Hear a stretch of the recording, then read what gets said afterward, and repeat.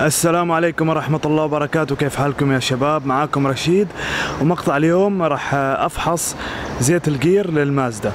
طبعا أغلب الناس يحسبوا أنه ما في ما في عيار زيت للمازدا من هنا وما تقدر تفحصه إلا من تحت. لكن في الحقيقة المازدا حاطة عيار الزيت تحت علبة الفلتر. الحين حفك علبة الفلتر وأطلع عيار الزيت حق الجير ونفحصه هل يحتاج تغيير ولا لا. طبعا لما تبغى تفحص زيت الجير لازم يكون عندك شيئين. أول شيء إنك السيارة حارة وطالع فيها مشوار قبل لا يزيد عن عشر دقائق يعني. وتكون واقف في مكان مستوي عشان العيار يطلع معاك مظبوط مية بالمية. حنفك أول شيء علبة فلتر الهواء.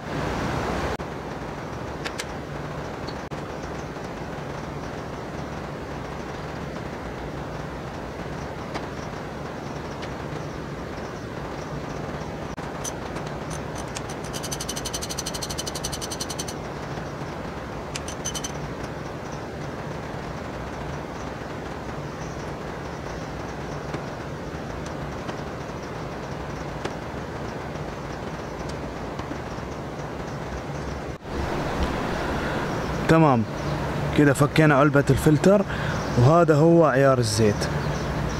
مفتاح عشرة تفكه وتطلعه تفحص الزيت إذا هو كويس ولا لأ.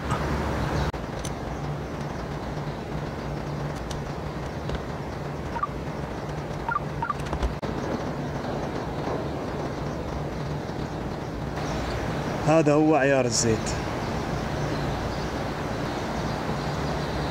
ناخذ العيار مرة ثانية.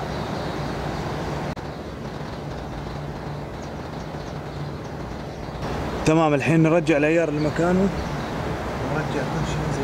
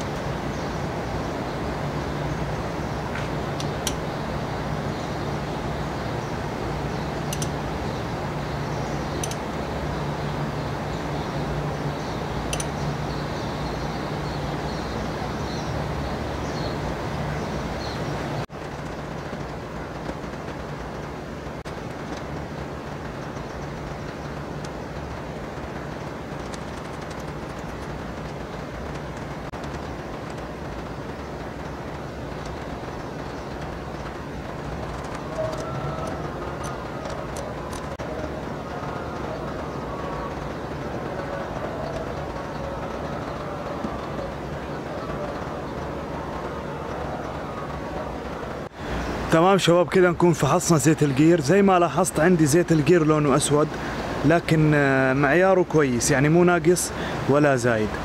تمام؟ فالزيت عندي يحتاج تغيير لأن أصلا أنا ماشي عليه تقريبا 95 ألف بدون ما أغيره.